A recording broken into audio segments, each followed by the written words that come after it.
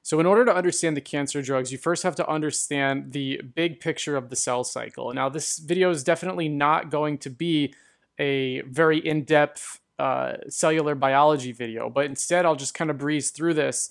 And if you're having any trouble understanding the cell cycle, I would encourage you to stop this video now and learn about the cell cycle before you attempt to learn about the drugs that act on the cell cycle. Makes a little bit of sense that you should probably start with the basics before you learn the pharmacology. So in the cell cycle, you have mitosis, which we'll call the M phase. And then you have the G1 phase, the S phase, and the G2 phase. Now, in each of these phases, something's happening. And in mitosis, ultimately, you get the splitting of the cell. This is stuff that's been crammed into your brain uh, since before medical school, well into undergraduate school. You should have a very good understanding of what mitosis is. But ultimately, mitosis will lead to the cell splitting into two. Now, in the G1 phase, that's next, and this is where the cell contents get duplicated. This is followed by S phase, which is where the DNA is actually synthesized. And then in the G2 phase, this is sort of like a maintenance phase where the DNA gets double checked to make sure that there are no errors. And we'll talk about this toward the end of the video uh, and talk about exactly what acts on the G2 phase, and we'll make sense of all this stuff as we go through. So there, the way that I want to move through this video is to talk about the drugs that affect each of these categories one at a time. And then at the end, we'll talk about drugs that don't really fit into any of these four different phases, and we'll talk about those at the very end of the video. So let's get started with the anti-cancer drugs that act on mitosis, so they act on the M phase. Now, those four drugs are listed here. It's vincristine, vinblastine, paclitaxel, and eribulin. So we're talking about M phase inhibitors or inhibitors of mitosis. Now, briefly, just recall that in mitosis, there is a process whereby you have the formation of something called the mitotic spindle. And in that mitotic spindle, you have these sister chromatids that align right across this horizontal line and they get pulled apart. What, what actually is doing this pulling are microtubules. So the way that these drugs act on the M phase is some of them specifically are going to inhibit microtubules. And by inhibiting microtubules, they can never rip apart the sister chromatids that lay on the mitotic spindle and therefore the cell can't divide. And if you have a cancer cell that can't divide, these drugs prevent the spread of cancerous cells. So that's sort of the big overview of how these drugs are working. Now, the ones that you need to be familiar with for USMLE and for Comlex are vincristine and vinblastine, which I'll sort of talk about as one drug because they, they're pretty much the same drug, paclitaxel and eribulin. So for the purposes of exams, you should know that vincristine and vinblastine are basically the same thing. The mechanisms throughout this video are going to be shown in red, adverse drug reactions will be shown in blue, and treatment for adverse drug reactions will be shown in green. And of course, I'll summarize as we go. So the mechanism here of these mitosis phase inhibitors is that vincristine slash vinblastine is going to bind to something called beta tubulin and prevent polymerization in the microtubule. Paclitaxel is going to hyperstabilize the M phase. So basically, it's going to just lock it into the M phase and not let it get out. And it does that by acting on microtubules. The eribulin is going to bind to the high affinity end of the microtubule and prevent it from doing its job because it's sort of just like an added component sitting on the microtubule. Now, one point of distinction, which I'm going to put here in parentheses, is that vincristine and vinblastine prevent the formation of the mitotic spindle or the formation of microtubules because they're preventing they're preventing polymerization.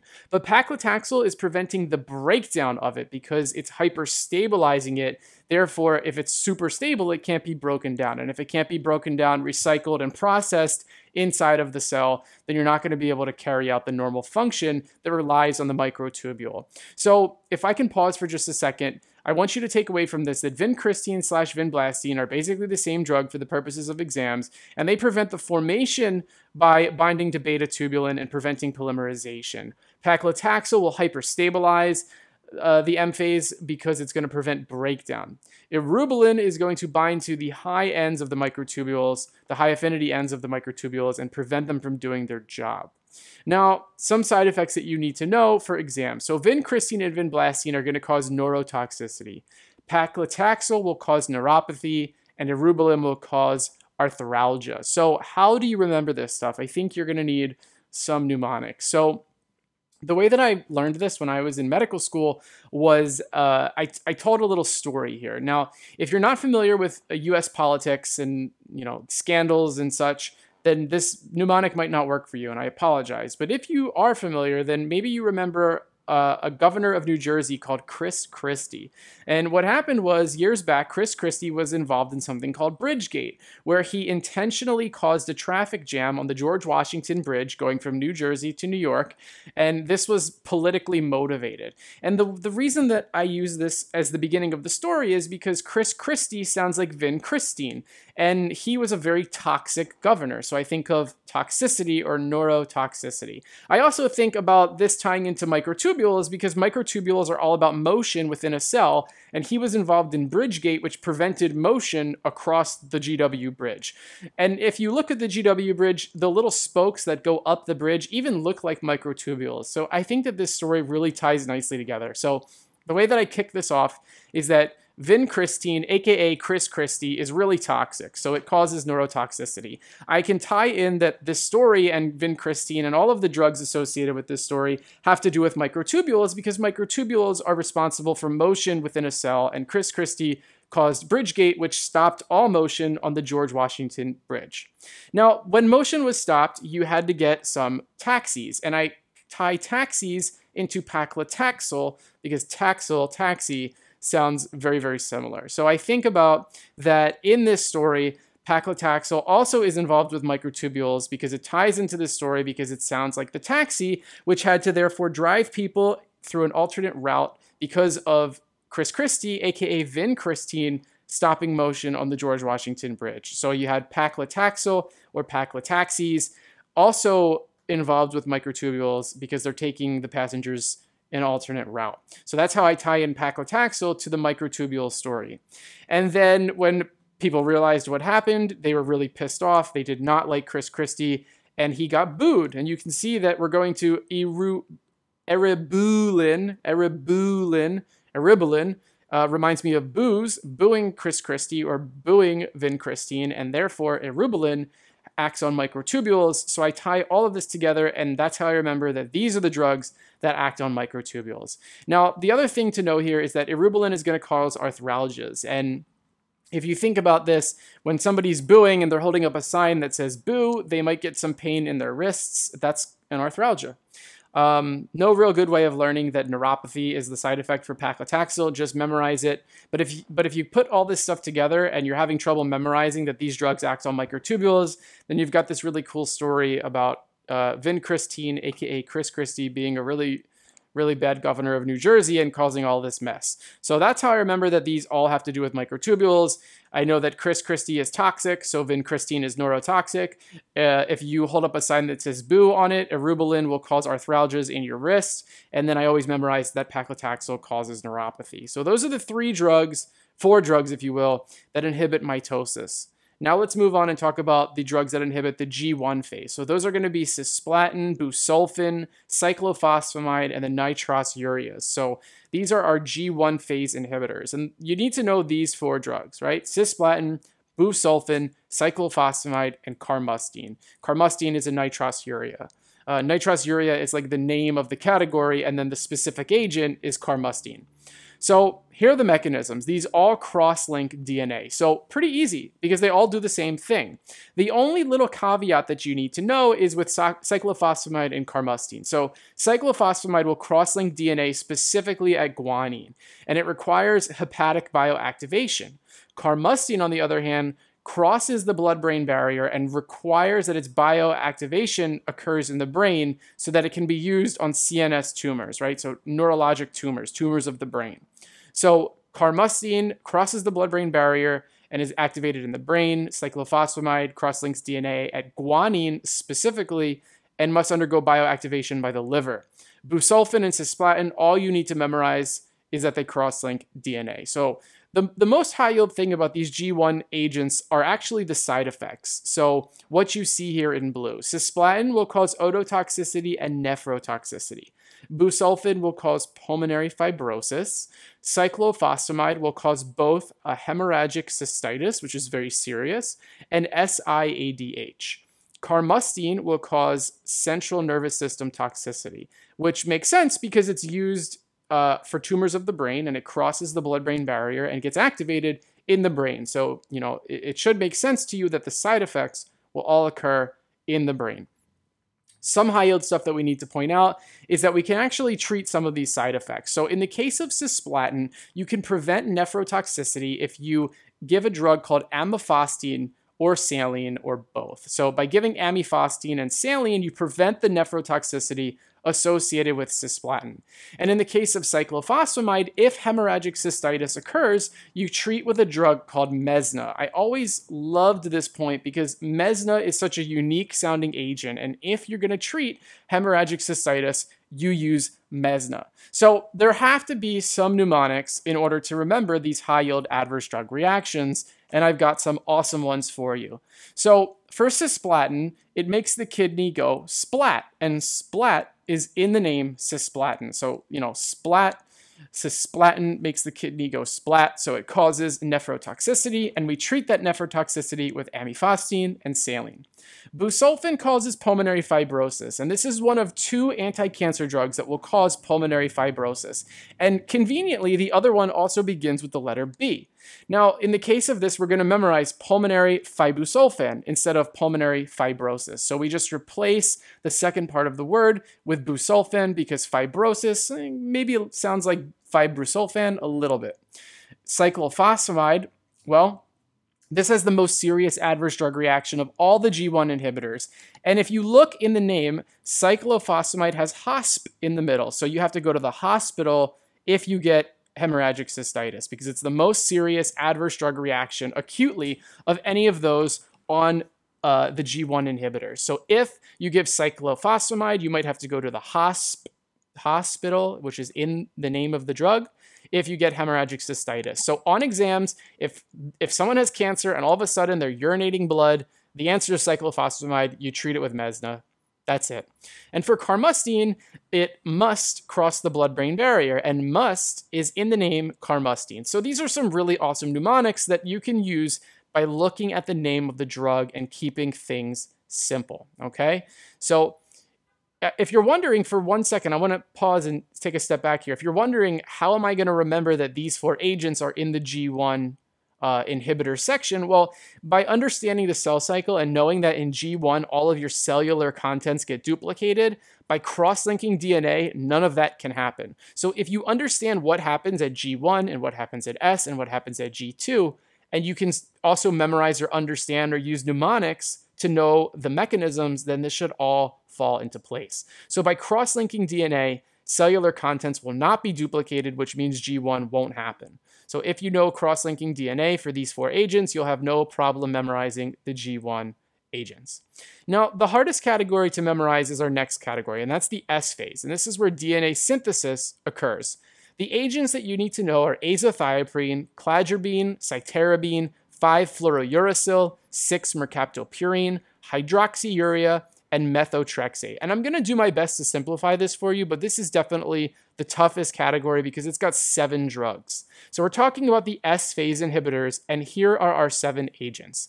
Now, Instead of throwing up all of the mechanisms at once, I want to go through these methodically to help your brain digest this information. So azathioprine and 6-mercaptopurine are basically the same thing for the purposes of exams because azathioprine actually gets metabolized into 6-MP when it's broken down. So both of these agents are going to inhibit de novo purine synthesis. And if you look at the name mercaptopurine, azathioprine, that's hinting that these are going to inhibit purine synthesis because you know that they're somehow involved with purines because of the names. Now, both of these are activated by HGPRT, and interestingly and extremely high yieldly, if that's a word, these are metabolized by xanthine oxidase. We're going to come back to this when we talk about adverse drug reactions, but for now, just deposit that little tidbit in the back of your brain. Azathioprine and 6-mercaptopurine are both metabolized by xanthine oxidase. Now, if you look at the other part of the slide, we'll, slide, we'll switch gears and talk about cladribine and cytarabine. So cladribine is a purine analog. Look at the name, ribine. So that's, you know, it's hinting that it's a purine. Cytarabine, it's hinting that it's a pyrimidine, right? Look at the Y, cytarabine. Okay, so so the names can tell you a lot if you're if you're stuck or you're, you you find an exam question tricky. Methotrexate is going to inhibit dihydrofolate reductase. We'll come back to this because there's a very very high yield adverse drug reaction and treatment that we'll talk about. 5-fluorouracil is going to be a pyrimidine analog. Look at the name. It's 5-fluorouracil. So it's an analog that's of a pyrimidine, and it specifically inhibits thymidylate synthase. Lastly, hydroxyurea inhibits ribonucleotide reductase. So now let's talk about the high yield adverse drug reactions. And as a sort, sort of a theme throughout the anti-cancer drug series, uh, any question that you get is most likely to ask you about adverse drug reactions. Now, don't get me wrong, they can certainly ask you about mechanisms or treatments of adverse drug reactions, but they're going to probably go after those ADRs. So, so be sure that you know them. Here's what here's what we got. So for azathioprine and 6-mercaptopurine, I told you that they were both metabolized by xanthine oxidase. So if you give a drug such as allopurinol or febuxostat, which both have mechanisms of inhibiting xanthine oxidase, then you're inhibiting the enzyme that breaks down azathioprine and 6-mercaptopurine. So if you give one of these cancer drugs and you give allopurinol or febuxostat, then azathioprine and 6-mercaptopurine will not be broken down because xanthine oxidase is inhibited by the allopurinol. So on exams, this will come up as a patient who they either hint at that has cancer or is a previous cancer patient, and then all of a sudden they're given some drug um, and there's massive side effects or massive toxicity. And what they're hinting at here is that you have this cancer patient who may or may not have been or is on azathioprine or 6-mercaptopurine, and now they're getting allopurinol, and maybe the question will be really nice to you and describe a sort of gouty arthralgic presentation, and you need to figure out what these drugs are, or maybe they'll ask you a question about you know, like which of the following is the mechanism or the pathophysiology by which this is occurring. So it's it's really random because you're going to read this question. It's going to be a question that's either about cellular biology or oncology, and then they're going to tie it into a drug that treats gout. Your your brain is going to be blown when you're taking the exam because you're going to be like, what the hell are they asking me? But if you stop for a second and understand that azathioprine and 6-mercaptopurine are both metabolized by xanthine oxidase, then you'll be able to tie this together on test day. For methotrexate, the high yield adverse drug reaction is myelosuppression. Now, let me pause for a second. If you're looking through first aid or any other review textbook or, you know, UWorld, whatever it is, you'll notice that every single anti-cancer drug has myelosuppression as an adverse drug reaction. And what I'm going to tell you is that none of those drugs you should memorize myelosuppression for. Literally erase it from your brain because non-specific adverse drug reactions will not be asked on USMLE or Comlex. But this is the one exception, and that's why it's exceptionally high yield, no pun intended. Because in the case of methotrexate, it does cause myelosuppression, but this is the one example where you can actually treat that myelosuppression. So if you give somebody methotrexate and induce myelosuppression as an adverse drug reaction, you give them a drug called leucovorin, and it actually treats the myelosuppression. But for literally every other anti cancer drug, which is going to inhibit some part of the cell cycle and therefore obviously suppress the myeloid lineage, then yeah, there's you know, there's nothing to memorize there. It causes myelosuppression, but they can't ask you that because every drug does that. So only memorize myelosuppression for methotrexate and know that you treat it with leucovorin.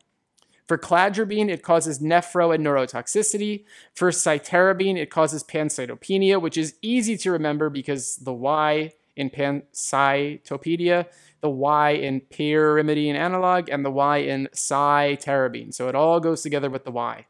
5-fluorouracil causes hand-foot syndrome, which is basically just like reddening of the hands and feet. Very, very high yield. I'll, I'll give you an awesome mnemonic for this in just a second. And for hydroxyurea, there's no adverse drug reaction that you should memorize. It's more important to know the mechanism. So let me give you some mnemonics for these things. So for azathioprine, I want you to spell it out azathioprine, but spell it with an XO. And that XO will remind you that it's metabolized by xanthine oxidase. X for xanthine, O for oxidase. For methotrexate, I want you to write it out as methodrexate. And DR will tell you that it inhibits dihydrofolate reductase. So D for dihydrofolate, and R for reductase. Also, again, know that it causes myelosuppression, treatable with leucovorin. For cytarabine, again, it's all the Y's, right? Y in pancytopenia, Y in pyrimidine analog, and Y in cytarabine. This is the only drug where it all has Y's. For hydroxyurea, I want you to write it out with two R's at the end, hydroxyurea. RR for ribonucleotide reductase to help you memorize the mechanism. And then for hand-foot syndrome, well, the drug is 5-fluorouracil, and that is commonly referred to as 5-FU. And when you say FU to somebody, you flip them off, and it causes reddening of the hands, which is known as hand-foot syndrome. So flipping somebody off or saying FU for 5FU reminds me that it's the hand, because the hand is what you use to flip somebody off, it's the hand that gets red as the adverse drug reaction. So really awesome, high yield, adverse drug reaction and mnemonic. So know all this stuff. The S inhibitors are really, really high yield because there's so many of them, but I, th I think that I broke it down rather nicely. So know what you have here on this slide. So that's the S phase. Let's wrap up with uh, the G2 phase. So the agents that you need to know in the G2 phase, etoposide, teniposide, irinotecan, and topotecan. Now, the G2 inhibitors are actually fairly simple because for the purposes of exams, these are basically just two drugs. Teniposide and etoposide are basically one drug, right? They're like the same thing. They all end in poside. And topotecan and irinotecan also should be considered one drug. They both end in otecan. So there's a very clear delineation here. The ones that end in poside, right, teniposide and etoposide, inhibit topoisomerase 2. The ones that end in otecan or tecan inhibit topoisomerase 1. So clearly, if you look at the names here, you've got topo, you got tenipo, etopo, irino, like they all have O's and stuff. So it should cue you in to know that we're talking about topoisomerase. The hard thing here is knowing which one causes, it, it inhibits topoisomerase 2 and which one inhibits topoisomerase 1. And the way that you can memorize this is to think of a posse. So a posse is like a slang term for a crew of people, right? Like, yo, where's your posse at? Like your group of friends that are all doing the same thing, that's a posse. And in teniposide and etoposide, you've got the word posse, right? T- posse dot d, o, eto posse d, or etoposide, right? Like I'm spelling it phonetically, but the word posse is there. So in teniposide and etoposide, because posse is in the name, that inhibits topoisomerase 2 because a posse of people is two or more people. So it's going to be DNA topoisomerase 2 for the ones that have posse in the name because a posse is at least two people. That's how I memorize that. Really, really easy. And then if you know that, then by process of elimination, topotecan and irinotecan must inhibit DNA topoisomerase 1. Now, if you're wondering, how the heck do I remember that these inhibit the G2 phase? Well, the G2 phase is the DNA double check phase. And basically, DNA topoisomerase goes through and double checks that the DNA is wound correctly because sometimes it gets wound so tightly that the DNA topoisomerase has to like backtrack a little and fix it. So because it's double checking it in the G2 phase, you know that anything that inhibits DNA topoisomerase obviously works in the G2 phase. And you should know that if you studied cellular biology. Uh, so you should be good to go, assuming that you got the basics down.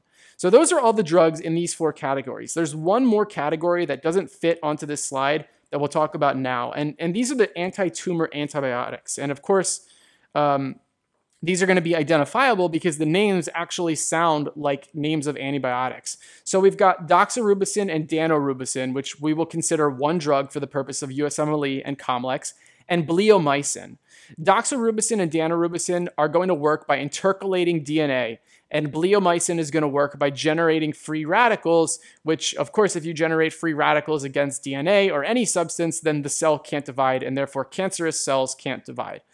The adverse drug reactions here, um, dilated cardiomyopathy for doxorubicin and pulmonary fibrosis for bleomycin. So remember that busulfan also caused pulmonary fibrosis. So the ones that begin with B cause pulmonary cause pulmonary fibrosis. And you can remember that by replacing the rest of the word fibrosis with whatever the drug is. So for busulfan, we said the mnemonic was pulmonary fibusulfan. And in this case, the mnemonic is pulmonary fibleomycin. So fibrosis, you know, just remember the B in fibrosis should cue you that the drug is either bleomycin, which has a B, or busulfan, which has a B. For doxorubicin, it causes dilated cardiomyopathy, and this is so high yield. I cannot stress this enough. On exams, the way that this will present is you'll have a patient who they might hint at is either a cancer patient or a, you know, a cancer survivor, And then all of a sudden, they're going to try to hint at some type of cardiomyopathy. They might give you heart failure. They might give you like, you know, stroke volumes and afterloads and, and weird graphs that you're going to have to interpret. But the bottom line is going to be that there's going to be a very clear cardiomyopathic process. And what they're going to ask you is either A, what's the drug? Answer would be doxorubicin. B, what's the mechanism of the drug? Answer would be intercalation of DNA. C, what is going on? Answer would be dilated cardiomyopathy. Or D, what's the treatment? In which case, you should know that you treat dilated cardiomyopathy that's induced by doxorubicin by giving a drug called dexrazoxane. So this is really high yield. Cannot stress it enough. Know the drugs that know the anti-cancer drugs that have adverse drug reactions that are treatable. So we talked about a few today. We talked about doxorubicin. We talked about cyclophosphamide. We talked about cisplatin, so amifostine for cisplatin, Mesna for cyclophosphamide, uh, dexrazoxane for doxorubicin, and we also talked about methotrexate. Remember, myelosuppression is the only one that you should memorize myelosuppression for is methotrexate which was treatable with leucovorin. So know those four, know the four adverse drug reactions, and know what you treat them with. But that's it, right? So we, we are now done. We've covered all the anti-cancer drugs that you should know. There are a couple more that I didn't include in this lecture, but they're not nearly as high yield as the ones in this lecture. So if you know your cellular biology, you know the cell cycle, you understand a little bit about what DNA topoisomerase does and you know what happens in G1, G2, S, mitosis, and then you know this video, you'll be very well suited to either dive deeper into this topic or just to superficially try to answer some questions and leave it at that. But that's it, and I hope this was helpful to you.